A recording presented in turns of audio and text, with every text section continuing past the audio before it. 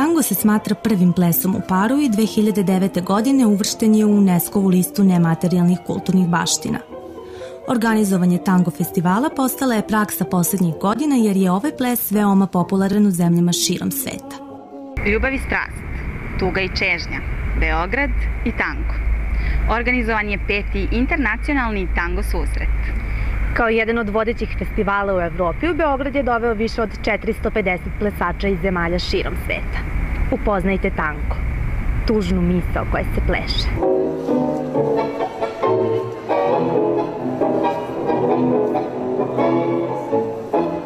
Prije pet godina ovo bio jedan ludi poduhvat da uradimo nešto što imaju najveći gradovi Evrope. U ovom trenutku je to postala realnost i mi gledamo da ovaj događaj posluži za e, etabliranje Beograda kao jedne tango turističke destinacije, što on jeste postao uveliko, za širenje tanga u Beogradu, za, ovo je jedna velika injekcija tanga za svako ko kreće da pleše. Onaj ko osjeti festival, taj ostaje da pleše do kraja života.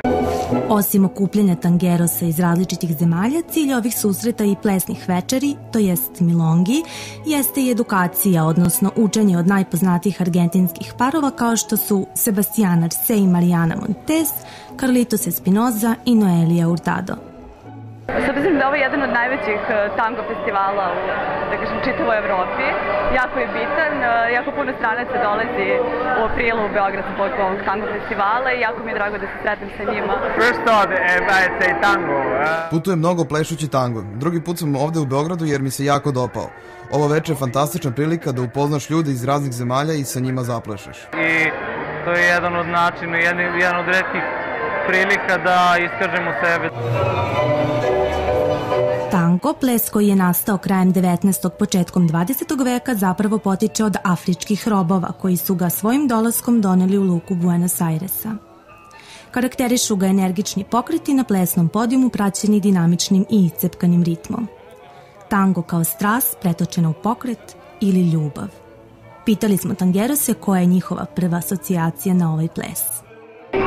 Zagrlje, a, komunikacija i ljubav i strast. Prva asocijacija na tango je komunikacija između muškarca i žene. Toga se sećam još iz detinstva, još kad sam prvi put gledao na TV-u nešto o tangu, kad sam vidio taj ples. Prva asocijacija nam je ruže, ne znam, mrežaste čarape, crvene cipele i ostalo. Međutim, kada zaista uđete u svet tanga, onda otkrijete da je tango mnogo više od toga. Prva asocijacija na tango je uvijek drugačija. U suštini je uvijek univerzalna, to je komunikacija, susret među dva ljudska bića, zagrljaj, prisutnost, nešto što nas vraća onom kvalitetu života i doživljaja stvari koji smo imali kad smo bili mali. Tanko kultura stara je preko 130 godina. Nju ne čini samo ples, već i muzika, moda, način razmišljanja, sklapanje novih poznanstava – Ona predstavlja susret tango umetnika različitih kultura, a za vreme njihove igre nestaju sve razlike.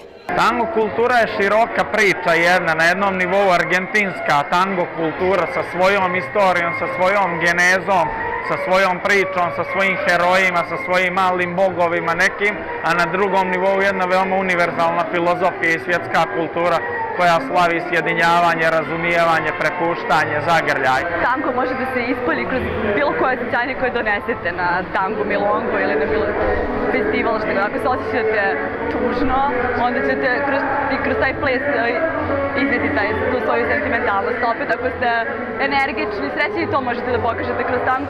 Tango festival koji se organizuje jednom godišnje, Beograd stavlja na mapu najatraktivnijih tango destinacija – Organizatori navode da je svake godine sve više učesnika, a posetioci ističu da se festivalu uvek vraćaju jer za njih plesati tango znači isto što i tri minuta biti zaljubljen.